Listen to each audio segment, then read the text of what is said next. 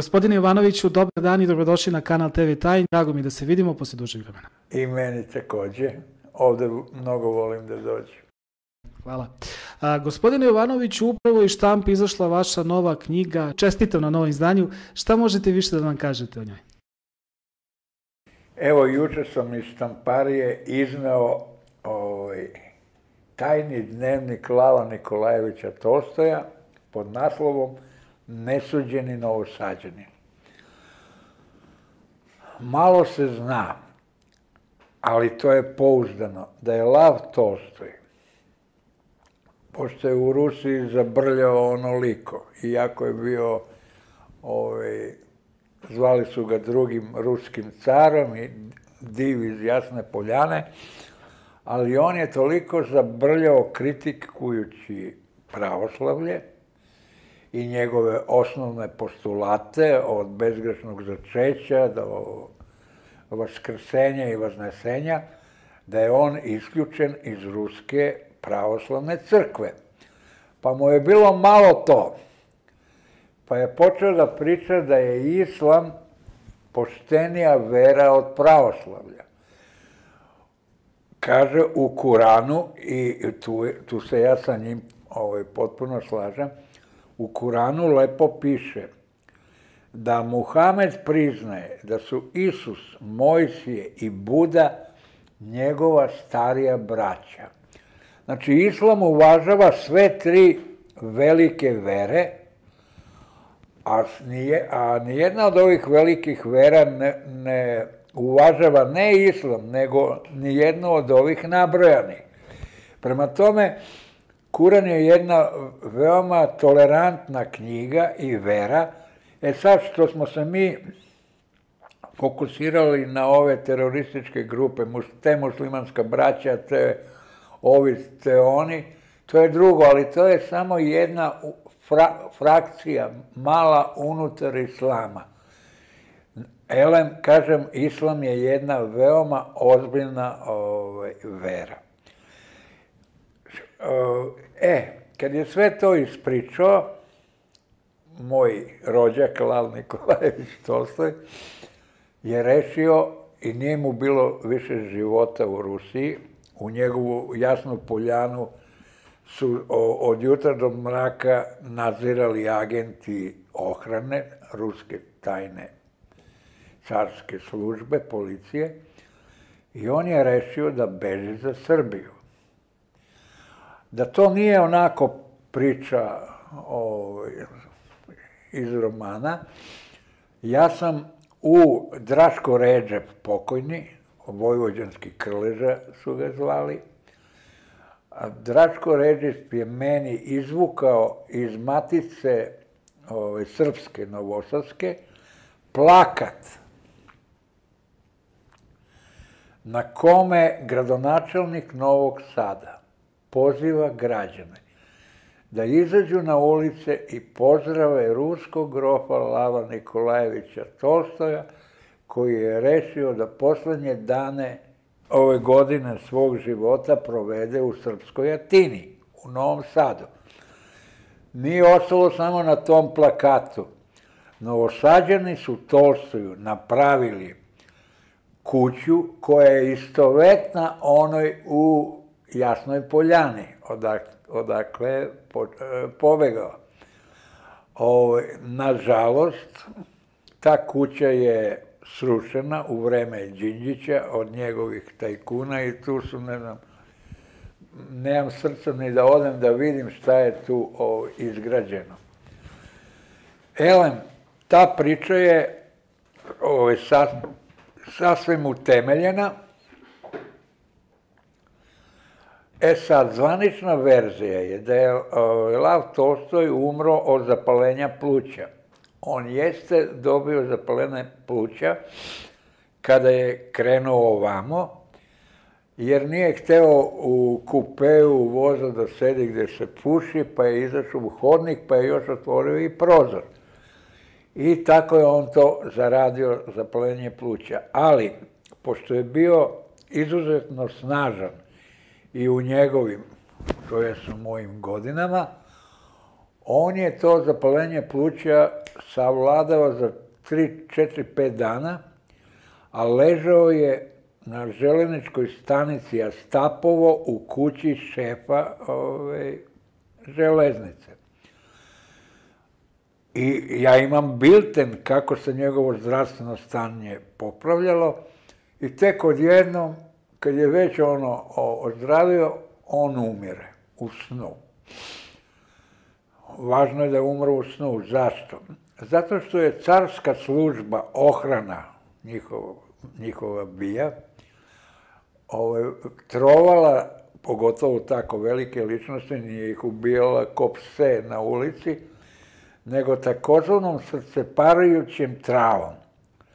To je jedna veoma opasna biljka koja se spusti u čaj i kad to popiješ, umreš u snu, stane ti srce bez bola, bez ičega. Ja mislim da je to bila ovaj, sudbina ovaj, Tolstoja i da on tako nije stigao ovde kod nas.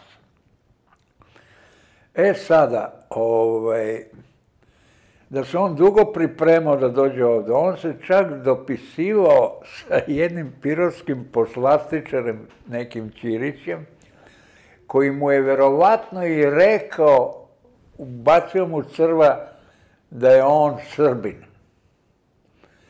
I on se s njimi dopisivao i najavio, evo, dolazim ovo ono i desilo se što se desilo. Da, da dalje ne pričamo o romanu koji, mislim, da se Rusima uopšte neće ovaj, dopasti, a i srpskim rusofilima, ali šta da im radim? Ja sam srbofil i ja moram da ispričam priču o Lavu Tolstoju, koji je iz svog grofovskog rodoslova doznao da su njegovi sa Čarnojevićima stigli do Ukrajine i tamo gde je danas Ukrajina oko Kijeva su stvorili novu Srbiju i ona se do Staljina tako izvala. Da ne dužim više o romanu, ajde da krećemo na druge teme.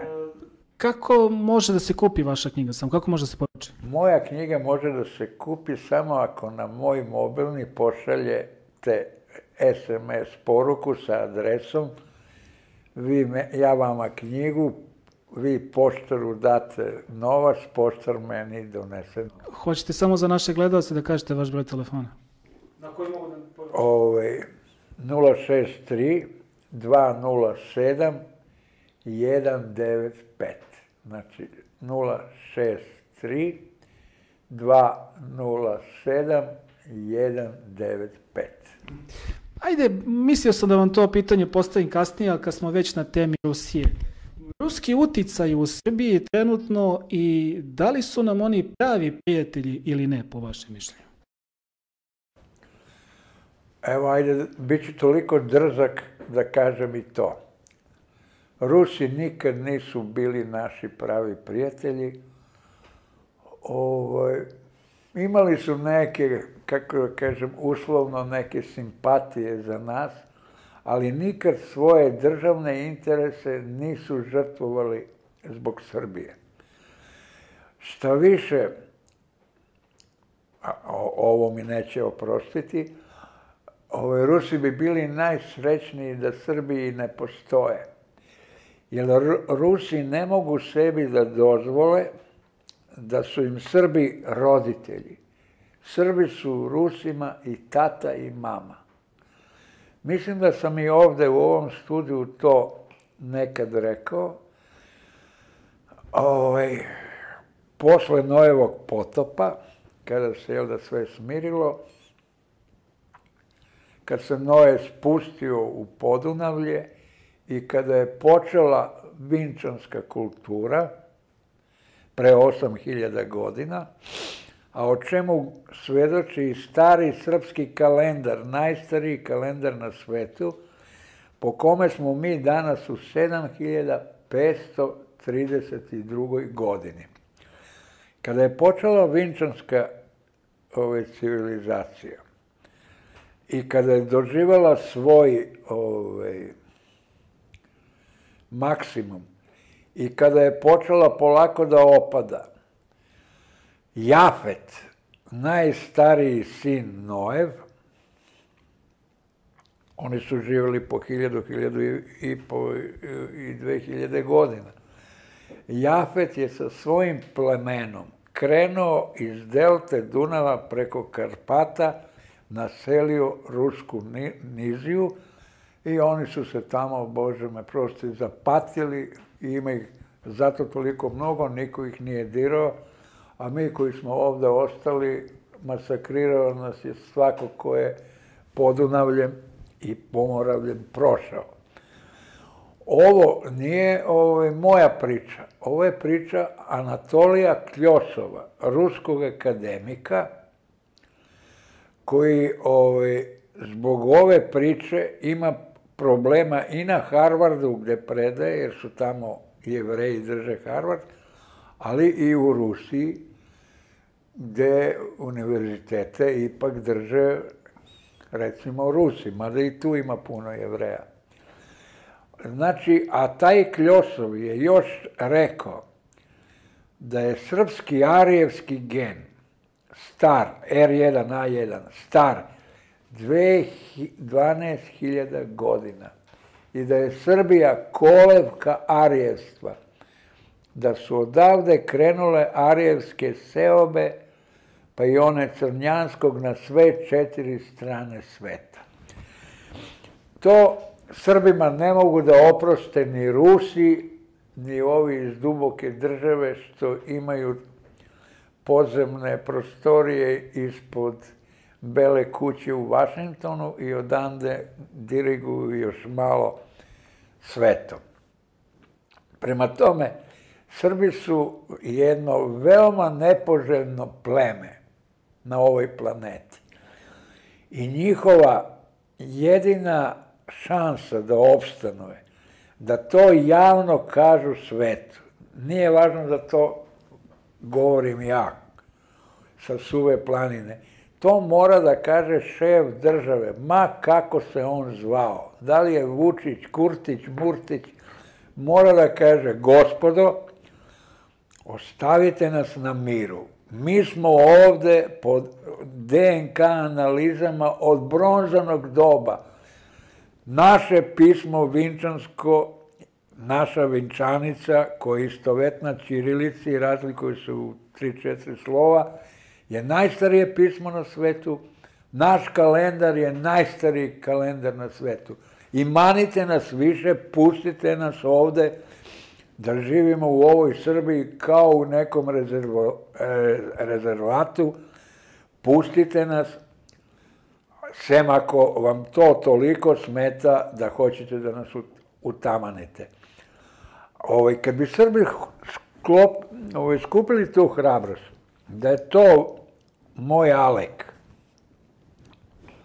rekao, gde ono govorio, u Ujedinjenim nacijama, je li tako?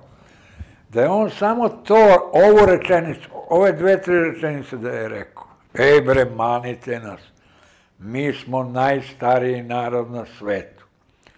Tu smo od bronzanog doba, naša vinčanica je najstarije pismo, naš kalendar je najstariji. Manite nas, pustite nas da živimo. Nećemo da osvajamo ni Rusiju, ni Ameriku, nećemo da osvajamo ni Albaniju, ali pustite nas da, da ovde živimo na miru. Od našeg nekog državnika, ne znam, ovaj, trenutno ne, ga ne vidim, se samo to očekuje. I ja mislim da je to jedina zaštita ovaj, za Srbe. Da kažu, daj bre, pusti ih. Ovaj. Pogotovo, a, ako su radoznali, ima toliko ovaj, naučnih podataka koje, koji idu u prilog tome, ovaj, pa neka se u, u, uvere da smo mi ti. Da smo mi ti. Da budem još bezobrazni, reći ću da u prvoj knjizi Mojsijevoj piše da su se bogovi sa malo b i u množini parili sa čovečicama i da su stvorili čoveka po svom obliku. E, mi smo ta Božja deca, neka vanzemaljska civilizacija koja je ocenila da na zemlji, i to baš tu u Srbiji, postoje idealni uslovi za život. Tako da smo mi, i, i taj arijevski gen star 12.000 godina, to se izgleda tad i desilo. Spajanje bogova i srpskih i čovečica iz Podunavlja. Ja znam da je to teško i Rusima, i Kinezima, i Amerikancima, pogotovo Englezima, da progutaju. Ali to je tako. Pogotovo kao što su Rusi naša deca. naša deca su i Englezi. Kelti, to je naše srpsko pleme, koje je odavde ovaj, ove, otešlo tamo. Ako je Troja bila na Dunavu, što tvrdim ne samo ja, ovaj, iako je posle pada Troje, su neka plemena otišla na Britansko ostrvo i prvo ime za London je Troja. Troja je prvo srpsko ime za London, pa su onda vremenom to ime sklonili i sve su pokrili i ovaj, i Rusi i Englezi su ona kopilat koja ne mogu da smisle svoje roditelje. I to je najveći srpski problem o kome niko ne govori. Evo, ja sam progovorio, pa šta košta, košta platit ćemo. Znam da nemate ni lepo mišljenje o Bixu. Pa, e, znaš šta, vidim sada euforije sa Briksom i ovo. Te euforije posjećaju me sa euforijama sa Sovjetskim savezom, kad je nastao Sovjetski savez. Pa to su naša braća, pa pa. Ove, ovaj, BRICS nije ništa drugo nego ove, organizacija, jel da, sastavljena od mnogoljudnih nacija, mislim na Ruse, Kineze, Indice, Indonežane, da ih, Brazilce. Tu se samo radi o pomeranju hegemonije. Da to ne bude više Amerika, Washington i London, već da to bude Moskva, Peking i šta je znam ovaj ko. Ništa od tog Briksa neće imati mali narodi, da ne kažem mali narodi, jer mi nismo mali narod, mi smo veliki narod, ajde kažem male zemlje, nama će isto da se vata i u Briksu, kao što nam se do sad vatalo u ovoj hegemoniji zapada. To je samo preraspodela moći, a ako ću da budem drzak, ja mislim da BRICS, da će BRICS ući u dil sa Zapadom i da će oni, da će napraviti bipolarni svet u kome za male zemlje se neće ništa promeniti. Pa ni za Srbiju. Prema tome, što bi rekao Volter, treba obrađivati svoj vrt, treba se ograničiti tu. Vojvodina, Dunav, Morava do Vardara i ne interesujete ni BRICS, ni MIX, pogotovo što nas, ja koliko sam čuo, mi smo se ponudili već BRICS-u, ali su nam rekli, ej, dečaci, sačekajte malo. Čime nam je stavljeno do znanja da se za, na nas tu nešto ozbiljno i ne računa. Neću nikada zaboravim da Putin, čim je izabran za predsjednika, sutradan ili preksutra je odletao u Vatikan i London. Šta je tu ovaj, toliko ovaj, bilo hitno i važno da on prvo se prijavi tamo. Kao što, ovaj, mada to nije uporedivo, Kao što se ne zna da je Koštunica, ovaj, čim je postao predsjednik, isto je sutradan otišao u Vatikan.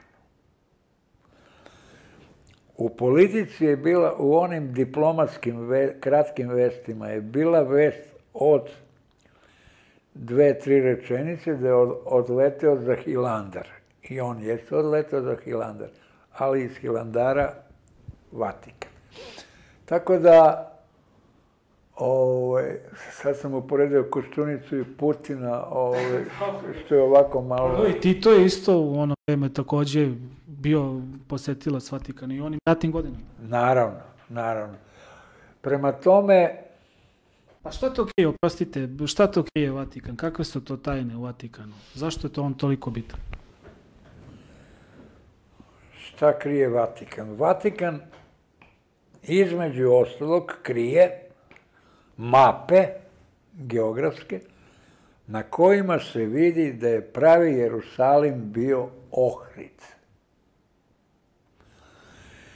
I u tom Ohridu je rođen Isus, sin Aleksandra Velikog. Znači, Isus je Srbin. E, kako sad to ovaj, da se sa tim mapama izađe u svet? A ovaj Jerusalim, oko koga je gužva, i bojim se da će on na kraju biti, sra... bojim se, ne bojim se mnogo, da će on biti sravnjen sa zemljom, je lažni Jerusalim, koje je napravila kao na temeljima ovog jevrejskog ovaj, hrama, carica Jelena, mati... Kons... Na, da, na, na temeljima Solomonovog hrama i onaj zid plača. Kakav nema veze sa Solomonom i sa njegovim hramom koji nije ni postajao. I ona je tu digla taj lažni Jerusalim. Taj, ovaj današnji Jerusalim je Potemkinovo selo carice Jelene. I kao što su Konstantin sa mamom hteo da izmesti pravi Jerusalim, iz Ohrid je sravnjen sa zemljom kao što se sada ravnja Gaza. U Ohridu je bilo 365 crkava. Car Konstantin je to sravnio sa zemljom i kao što se ovaj, sada... Car Konstantin, to proste koji je rođen u Nišu. Da, ali koje je kopile Dioklecijanova, tata mu. I ne znam da li da pravim tu digresiju. Ivan Ivanje je napisao roman o caru Konstantinu i ko pročita taj roman, njemu, njemu je jasno da je Konstantin Kopile Dioklecijanovo, gde je mama bila domaćica, kao što je počela Jovanka Brosa. Vidim juče prvu epizodu, počela kao kao kuvarica, pa domaćica, pa upravnica Belog dvora, la, la, la. E, tako je carica Jelena kod Dioklecijana. Ovaj, I sada, kao što je Rim, odnosno Vatikan, tada hteo da izmesti pravi Jerusalim ovamo, gde je sada, ovaj, tako su Englezi 1948 isto izmislili taj Jerusalim i tu ovu, kako se zove, je, e, izraelsku državu. To su sve veštačke tvorevine i to mora da se čuva u tajnosti, ali tajne mi ipak cure čak i iz Vatikana. Ja imam te mape vatikanske u kojima se vidi kako pored Jerusalima ove lađe, brodovi, ribarski čamci, ovo ono. A raspored građevina u pravom Jerusalimu i ovom su iste u 10-20 metra se ove, razlikuju građevine koje su bile od Aja Sofije u Okredu pa do ovamo. Građevine su isto raspoređene kao u starom pravom Jerusalimu. Dovoljno je da to ima u Vatikanu, pa da Vatikan ne sme da se dira i da ima tu moć, jel da, koju ima. Ali, valjda će doći vreme kada će i Vatikan ove, ovaj, biti razvlašćen. Jer uh, hrišćanstvo, odnosno tačnije treba reći judeo-hrišćanstvo, bilo, zvalo se ono pravoslavlje, katoličanstvo ili šta znam već kako, je na izdisaju. Na izdisaju je, to treba vidjeti i Srpska pravoslavna crkva je vatikanska filijala, mi ne smemo da zaboravimo da je i Nemanja dobio krunu iz Vatikana, a da je njegov sinčić Sava primio hrišćanstvo od Franje Asiškog. Zato ima onu tonzuricu Franjevačku i ako vi vidite i taj Sava je ovaj, donao čak i slikara koji je u Asiziju, gde je, jel da, sedište Franje Asiškog, raspeće Isusova iz crkve u Asiziju i u Studenici su istovetna. Vidi se da je radio isti slikar i tu je meni prvi put proradio ovaj, Mozgić da je Sava Franjevac. I ovaj, da ne pričam o njihovim genocidima, jer sam se tu Srbima mnogima zamerio i smučio, kako su na silu uterivali hrišćanstvo i kako su nije sačuvan ni jedan hram Boga vida, palova su se sela gde je postojao hram Boga vida i ja sam posle 800 godina sagradio prvi hram Boga vida, enoga na, staroj, na suvoj planini. E sada, bliži se kraj kalendarske godine. Šta je za vas ostavilo najjači utisak u ovoj godini, gospodin Ivanović? Pa svi pominju ovaj, taj masakr u školi braće Ribnikar. Pa ajde da ga pomenem i ja. Mada vreme je toliko neumoljivo i toliko lomi sve događaje i sećanja, Da. E sad, šta je nešto što može da zabrinjava zbog tog ove, masakra? Evo, ovih dana vi vidite da se slična ubistva dešavaju i po Rusiji i po Americi. Kao da je ovaj mali Kosta bio uključen u mrežu ovaj, neku međunarodnu, neću reći sekte neke ove, belosvetske koja je eto to ove, radila po svetu. Ove, zašto je baš nesreće je što je što se vidi da je otac Kostin da ga je stvarno spremao za tako nešto. Ajde jedna vodiš dete u streljanu da vidi iz radoznalosti šta se tamo dešava, ali Kosta se tamo baš obučavao kao specijalac. Zašto je to radio njegov otac? To još nemamo ove ovaj, odgovora, ali da manemo Kostu i braću Ribnikar. Vi, ja obožavam da čitam tabloide, svi kažu kako možeš čitati?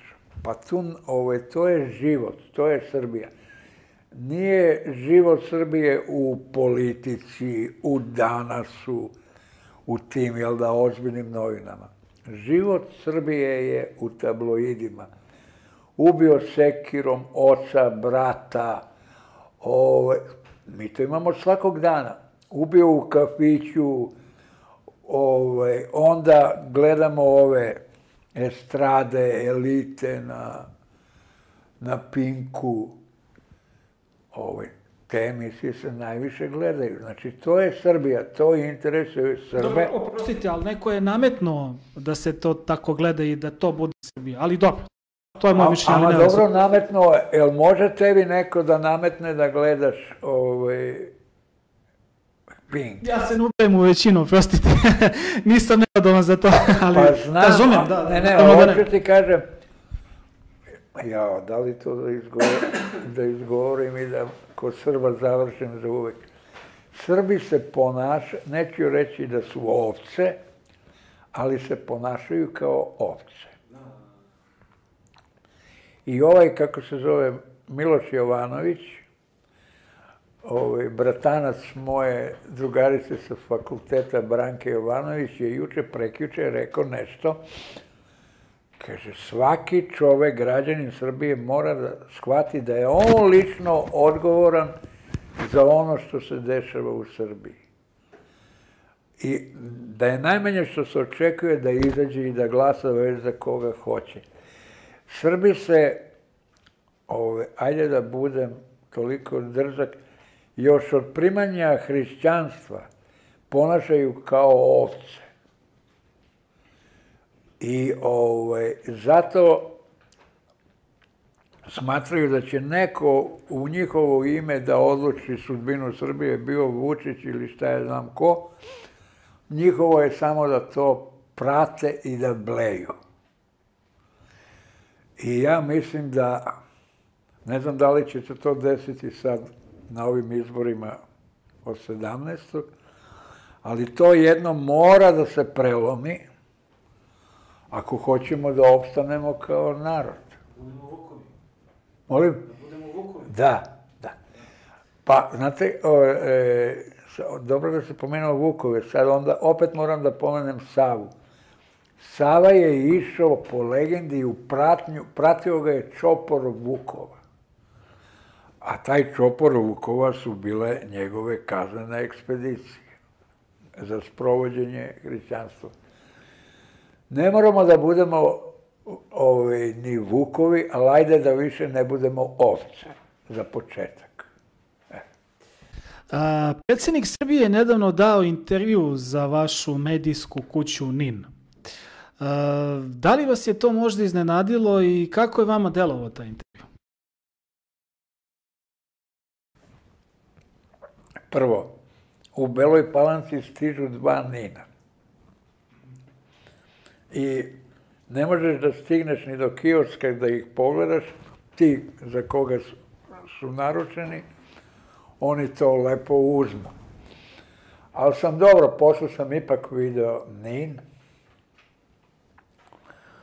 i ne znam da li da priznam da nisam pročitao intervju. Ne znam kako će to Ćuliburg da shvati. Ali dobro, neka je dao intervju. Ja mislim da će bar taj broj, da će biti veći tiraž, a onda možda po nekoj inerciji i počne da raste malo ovaj tiražnina koji nije ovaj veliki kao ostalom kao i ovim drugim news magazinima. Pročitao sam samo ono, ove teme koje su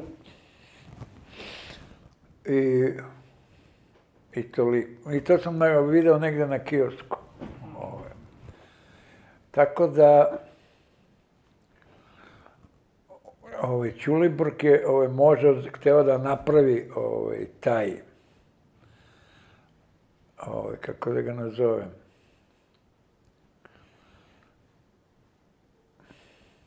hteo da napravi taj neki obrt, ono ples na žici, pa šta bude. Eto, vidjet ćemo šta će biti. Ajde da zamislimo da ste vi imali priliku da radite intervju sa predsjednikom Srbije. Ajde, koje bi postavili njemu pitanje? Prvo pitanje koje bi postavili.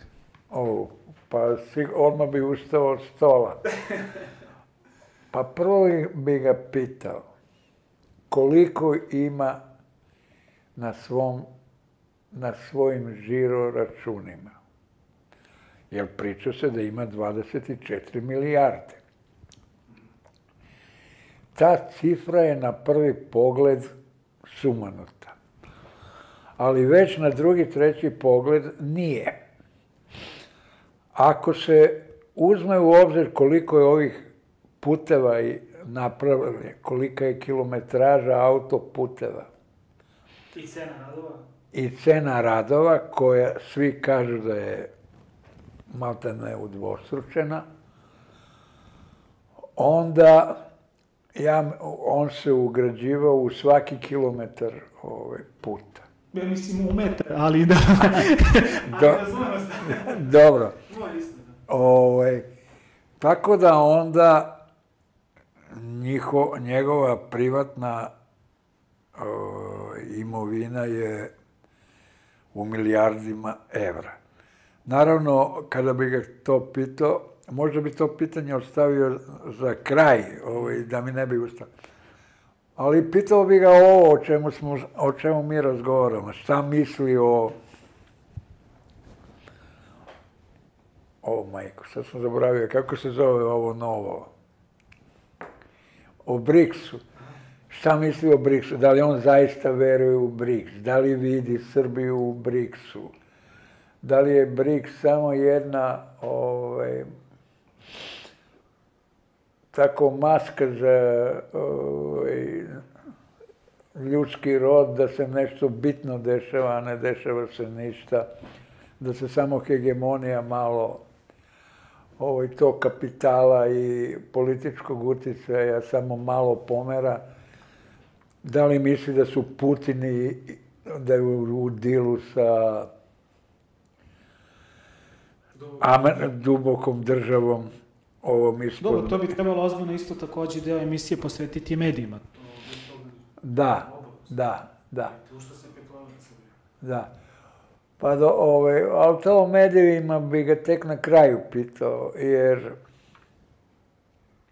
ajde da, ajde da se zamerim tu i medijima. Jer pazi, ti ako si ovaj, neki novinar u bilo kom listu koji je ono na margini, koji nema do, ovaj, dostupne podatke, O... ako si ti neki novinar, pravi novinar od krvi i mesa, pa ti ćeš naći podatke koje te interesuju. Ajde malo da se hvalim. Ko je meni dao podatke o tome da je a, ova kupola olovna iznad Krškog, da je umjesto da bude dva metra debela, da je metar debela, i da varovi nisu dobro urađeni i da tu izlazi radioaktivna para. E sam ja to našao na ulici ili neko mi rekao, ej, dođi. Ali kopaš, kopaš, kopaš i dođeš do toga. Ko mi je dao podatke da Rusi, da u vreme one izraelsko-iranske kri, nuklearne krize, da se Rusi spremaju za, ako dođe do nuklearnog rata, da beže za Srbiju. I zašto za Srbiju? Pa blizina toplog mora, pa plodna zemlja, pa šta ja znam šta, srpske političke elite su najkoruptivnije. Ko mi je dao te podatke? O Mosadu. Mosad koji, sad vidimo da taj, ni taj Mosad da je izvikana firma, da i to ovaj, nije Ja verujem, ovaj, ne verujem ovu priču, kao Mosad je znao da će ovi da Hamazan uleti na taj koncert, nije znao. Nisu ni oni ove, ovaj, ono zašto se predstavljaju i zašto ih naduvavaju. Ove. Bio sam ja u tom Jerusalimu u oči Černobila. Ako ja na ulici u ponoć kad idu patrole, čuvene izraelske vojske, a ja idem sa mojom bivšom ženom, a tad su se pojavili ovi kalašnjikovi i ovo, ono. Ja, ja kažem ovom jednom, ej, daj mi, ja mogu da ga, ovaj, samo da ga držim u ruci, i on mi da. I šta, ja se mogu samo da okrenem i da, da ih svu trojicu pobijem nije ni to neka izraelska vojska kakva se priča da jeste, niti je Mosa to što se priča. E, ali samo treba stegnuti, da ne kažem šta, i sve to reći za novine.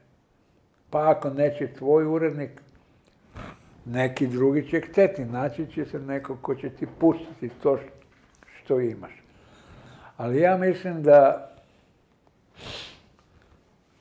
da je novinarstvo, pa ne samo u Srbiji, da ne grešim dušu, da pravog novinarstva više nema. O, I sve da se dozvole bilo kakve slobode medijima, da tu nekog velikog efekta neće biti.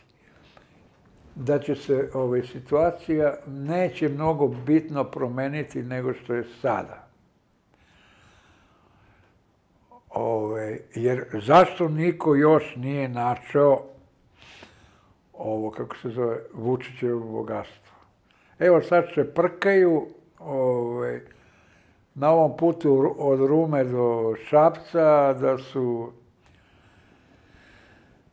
ovaj, mali i šta je znam ko, da su drpili 20 miliona ovaj, evra, pa da su 10 zadržali za, za sebe, a 10 dali centrali. Znači, čeprka se tu po sitnim stvarima. Tako da, to bi bilo prvo pitanje za moje, za, za njega. Eh, da li ćete izaći na izbore 17. i kako se vama čini uopšte ponuda na ovim izborima? Opet da kažem, na izbore neću izaći. Ja sam bio na izborima 1991. kad sam bio predsjednik Zelene stranke i kandidat za predsjednika Srbije.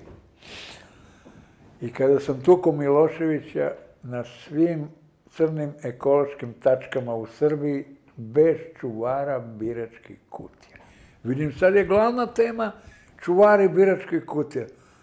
Meni nije padalo na pamet da, ovo, čekaj, pa neće da se krade na izborima. Ali bilo mi je sumnjivo na jednom mestu gde ja očekujem, to je tamo gde je plavi jahač kafić, tu je bila pre kafića mesna zajednica i tu je bilo izborno mesto, ja tu iz one zgrade koja je zalepljena za kafić očekujem 12 sigurnih glasova. I nema ni jedan. I ja počnem tamo kam, dajte vamo ovo, i uhvatim ih da su SPS, SPO, radikali, demokrati, podelili dvane, po tri glasića, ko braće, da ne kažem šta. I ja sam tada rekao, gospoda oficiri, sa vama više ne idem da kradem ni lubenice. I evo, to me drži do današnjeg dana,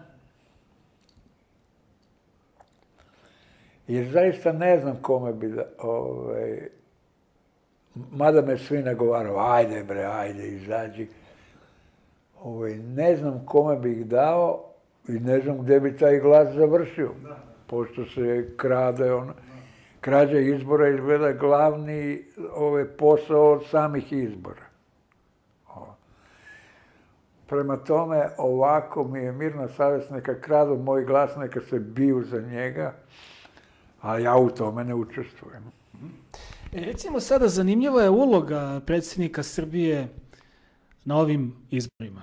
On čovjek koji je sada nestranačka ličnost, e, vidimo da nosi ime i prezime liste SNS, ali tako. E, I ne samo to, nego čovjek drži vatrene govore na njihovim skupovima predizbornim.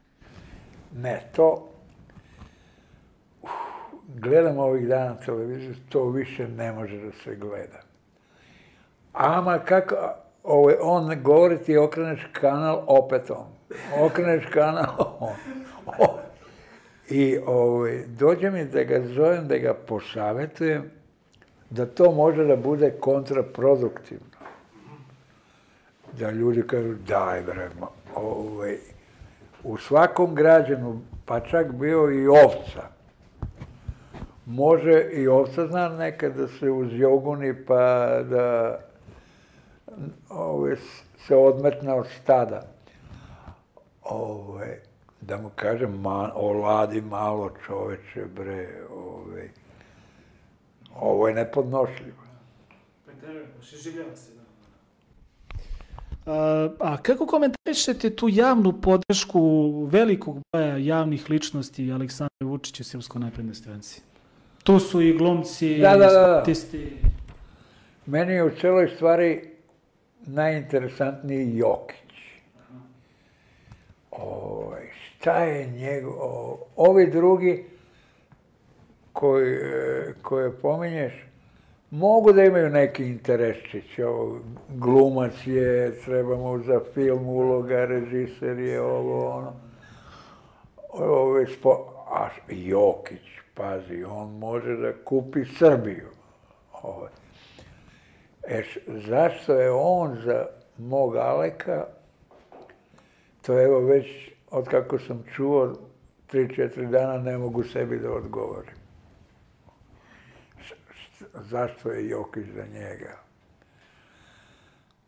Ove, a, ali Đoković tu nije. To sam sad hteo. Đoković zvanično nije podržao, ali e, ne mora javno da podrži ako vidimo da njegova porodica i on lično tesno sarađuje sa ovim režimom. Pa, ja sam to odavna ove, rekao, A, oprostite, čak i čini mi se za prošle izbore, čini mi se da su to bili predsjednički izbori, a, da se on slikao, da je on imao sastanak u predsjedništvu sa Vučićem Jeste, i sve ostalo. Mislim, Ovaj,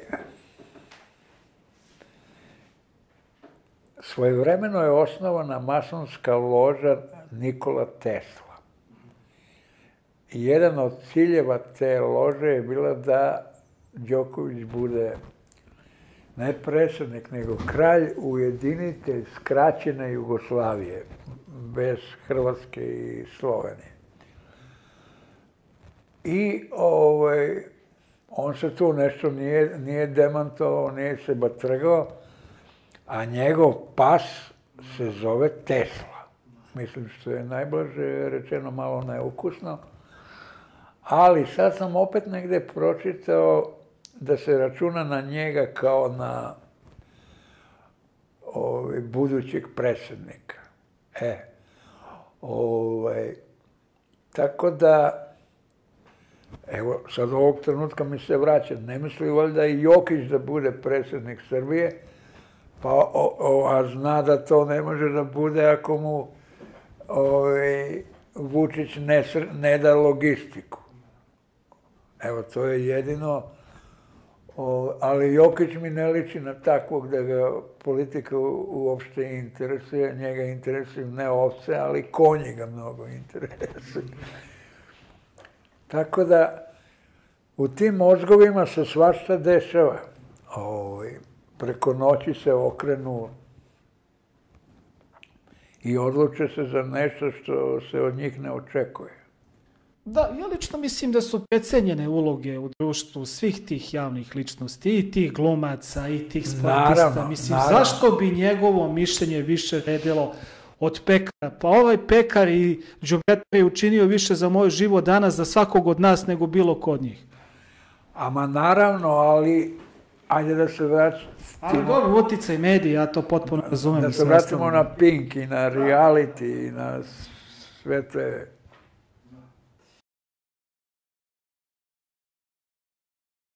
E sada, ovo će biti zanimljivo pitanje za vas. E, nedavno je procurela informacija da Kinezi u Boru planiraju instalaciju nuklearnog reaktora za proizvodnju struje i da im je to naša država dozvolila uprkos zabrani i zakonu koji je između ostalog izglasan upravo zbog vaših zasluga. Ako se ne varam, ali tako? Taj zakon sam donao ja sa Jelkom Miljković, koja je u tom trenutku bila ovaj, predsjednica Savezne komisije za zaštitu životne sredine Skupštine SFRJ. Bez nje to ne bih mogao da uradim, jer ona je to postavila na dnevni red Skupštine. U toku zasedanja Skupštine je prekidana sednica da se to pitanje nekako skine s dnevnog reda. U jednoj pauzi meni je prišao admiral Brovet. Ti si mlad, ne znaš ga. Ima ovakve prodorne plave oči kao ja i drug Tito.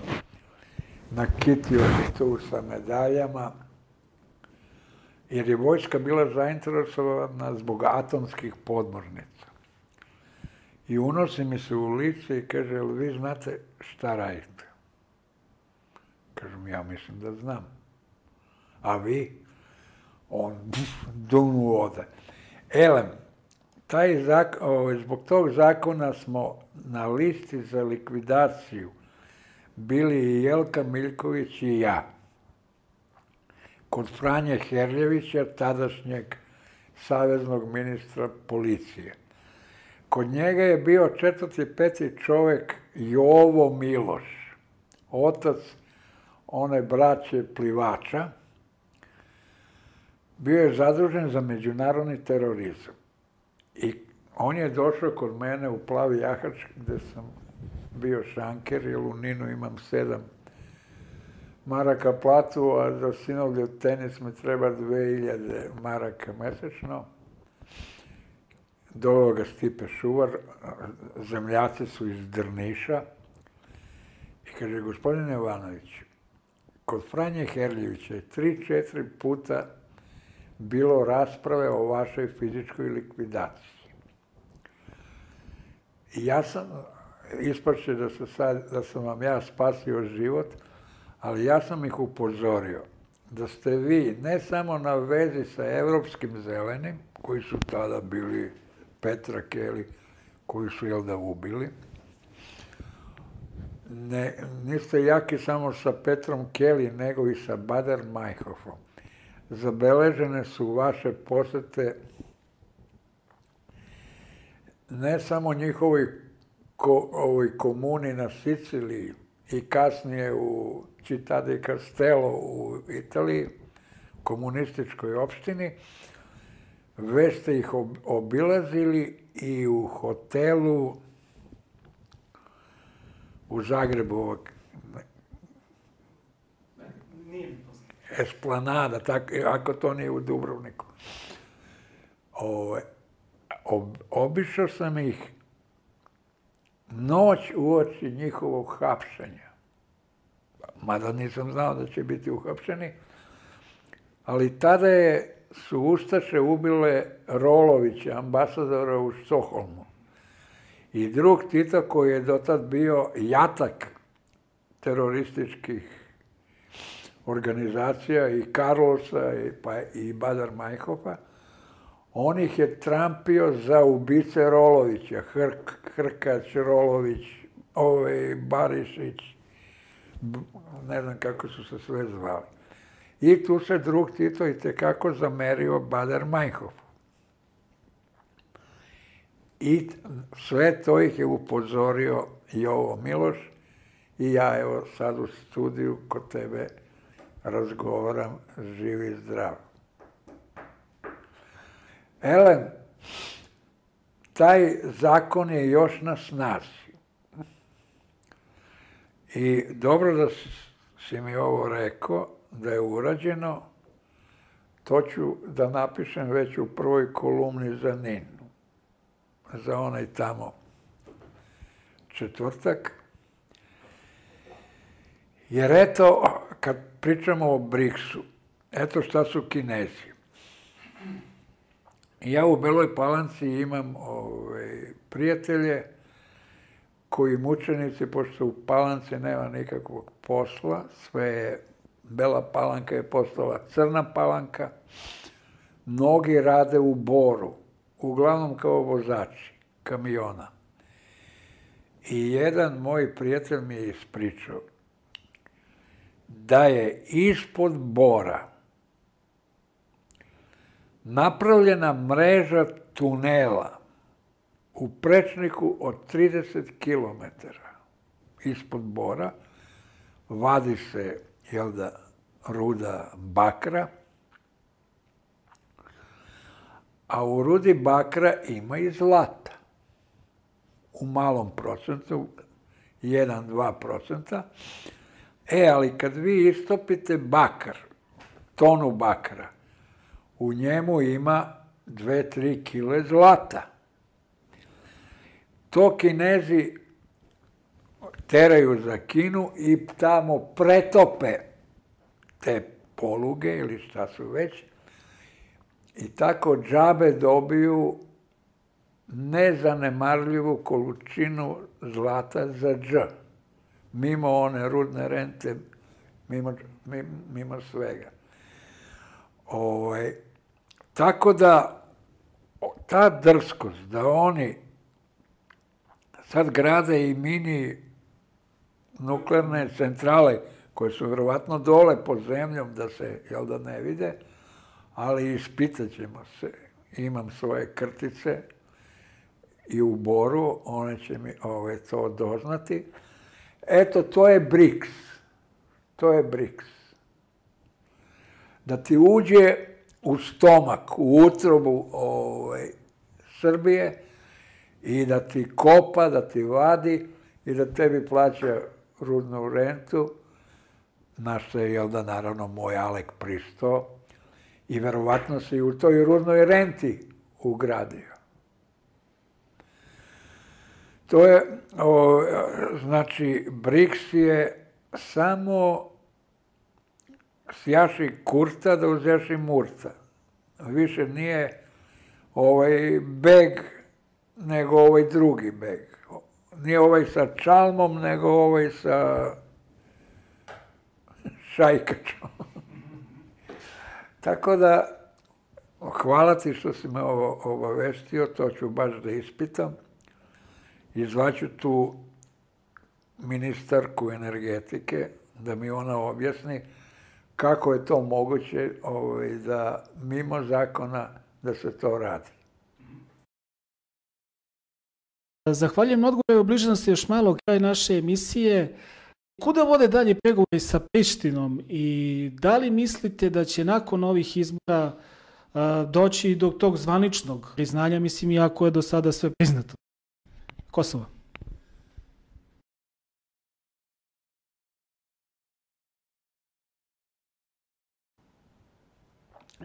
Sad sam naravno ovaj, pristrasan i ja kad kažem da se nadam da neće doći do priznanja Kosova, to je samo moja ovaj, nada. Da li je jalova, da li nije, to ćemo ubrzo da vidimo.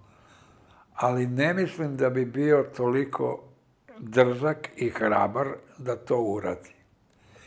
Jer opet sam slušao ovog eh, Miloša Jovanovića koji je čovjek docent prava, predaje na pravnom fakultetu u Beogradu, koji kaže da usmeno priznanje ne znači ništa. Ovaj, a on je mučenik, ajde malo i da ga pohvalim. on je mučenik pliv, on je u, u horoskopu riba i pliva ko riba. I pazi, ovaj, ja mislim, ja, možda će da me namrznu sada, da on ipak, ipak, ipak voli ovu Srbiju i da se ovaj, na sve načine bori za nju i da koristi sav manevarski prostor, mogući i nemogući, ovaj, da spasi Kosovo, i da spasi Srbiju. E sad, mnogo oni koji ga pljuju, a kad bi se našli u njegovoj situaciji, ne znam kako bi se ponašali. Jer oni su nas toliko stisli. Evo, jutro, pre nego što sam polazio ovde kod tebe, vjerovatno si i ti čuo, ovaj, Kurti, ovaj, kosovska policija, o, 60 Srba hapsi, privodi, zbog barikada koje su pravili prošle godine. Sad se setio, pošle godinu dana se setio da im se sudi za te barikade, jer je to protiv ustavnog poradka Kosova. Znači, oni nas samo preko Kurtija, samo nas peckaju, peckaju, peckaju, da vide kad će da nam živci popuste, da uletimo unutra, da ih sravnimo sa zemljom, kao što Njetanjahu ovamo radi, Mi, nadam se, ne bismo ubili ni žene, ni decu, ali da ih očistimo i da onda oni ulete, da NATO onda uleti da brane Kurtija. Mada, ajde da kažem i to. To sam već govorio. Jednom sam rekao, Boga mi pre 3-4 godine, pustite mi legiju i dajte mi hiljadu specijalaca. Ja ću u 70 i evo šest godina da uđem i kosovski problem bit će rešen za 24 ili dajte mi 48 sati. Mislim, kad bismo mi uleteli, da bi to bio takav šok i za NATO i za bilo koga, da bi bili zatečeni i da ne bi reagovali. Na kraju krajeva imamo po toj rezoluciji pravo da uđe hiljadu. A za Šiptare ne treba više od hiljadu srpskih ovaj vojnika. E sad, to bi u intervju pitao Aleka, zašto hiljadu vojnika nisu unutra po rezoluciji? I ajde neka to bude prvi korak, da na Kosovo ode hiljadu srpskih vojnika. Pa ćemo da vidimo kako oni dišu, kako će na to da se reaguje, pa onda idemo dalje. Kako bi to sad recimo izgledalo i sve da se Kosovo sutra vrati u ustavni poredak Srbije? Kako bi to funkcionisalo u praksi? Znači mi bi dole imali Albanci bi morali da budu deo izvršne sastavne vlasti ostalo. Tako. Oni bi nosili jednu od vodećih uloga u političkom životu Srbije. Ok, ok, ok. Ja sam slobodan... Ja mislim da ni jedna vlada ne bi mogla se sastaviti bez njih. Naravno. Ali, ajde i ovo da ti kažem. Ja sam Slobodanu Miloševiću, valjda se još sećamo ko je, kada je bila isto ovako neka gužvica dole, ja sam mu predlagao da osnovi kibuce na Kosovu. I evo, išao bih ja da živim u tom kibucu, ove, jer jevreji su pokazali da su kibuci najbolji način za osvajanje teritorije. Kad bi se na Kosovu osnovalo sto kibuca srpskih, koji bi tu im, o, oko sebe imali neku zemlju, okućnicu, ovo ono, pa možda i neke male mini fabrike.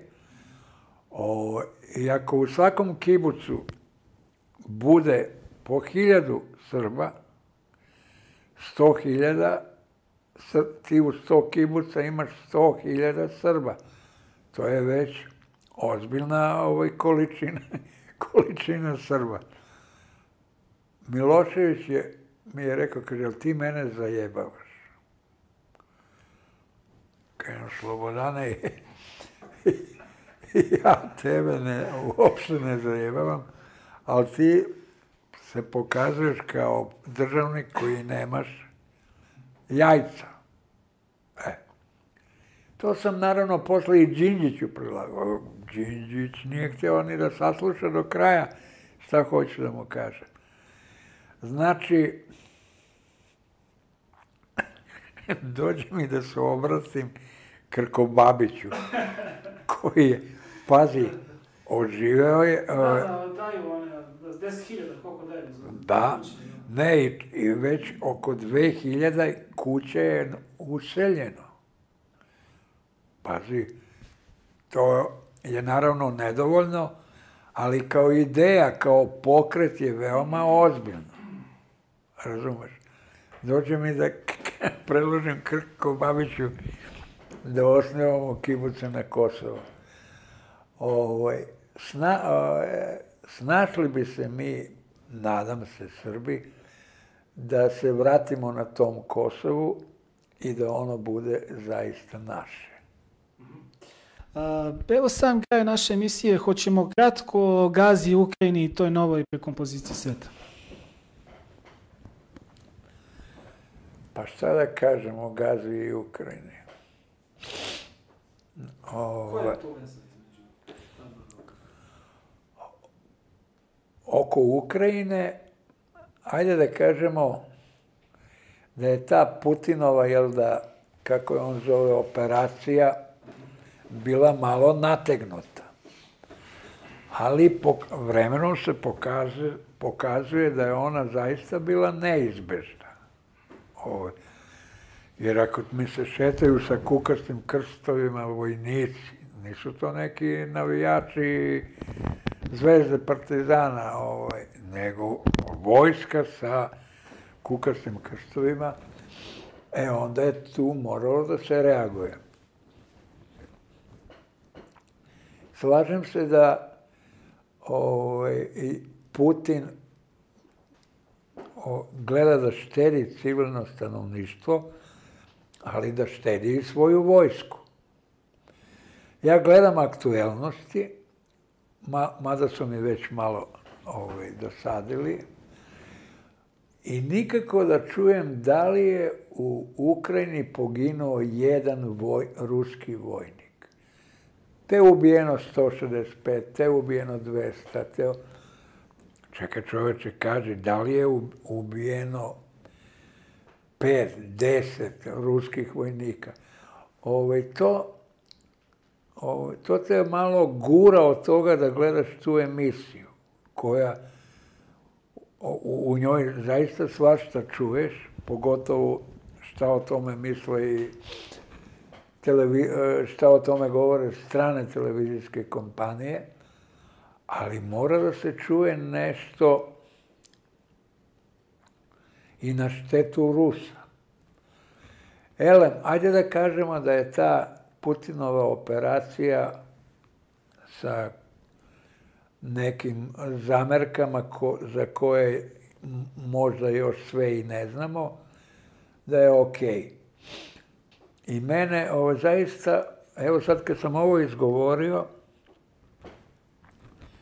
palo mi na pamet, pa možda Hamas, Hamas ima i te neke planove. O, ali o, što bi napravili na neki način uslugu i jevrejima, jer Netanjahu mora da ide u zatvor, jer je on ono, još pre ovoga bio za zatvor, pa se nekako izvukao što je tamo, jel da, u aferama krao i on neke novce.